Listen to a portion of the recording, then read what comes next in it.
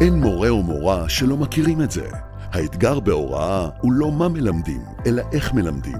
במאה ה-21, כך נראה, האתגר גדול יותר. התלמידים חשופים לאלפי ערוצי מידע, ובשטף המידע צריך לדבר איתם על ערכים, על חשיבה ביקורתית או על מיומנויות. משרד החינוך גיבש עבורכם המורים כלי עבודה חדש. כלי דינמי, נוח לשימוש, שמנגיש לכם מגוון של אופני למידה מתקדמים באופן בהיר, פרקטי ומגוון. רוצים לחזק את תחושת המסוגלות בכיתה? להציב דילמות בכיתה או להתמודד עם קונפליקטים?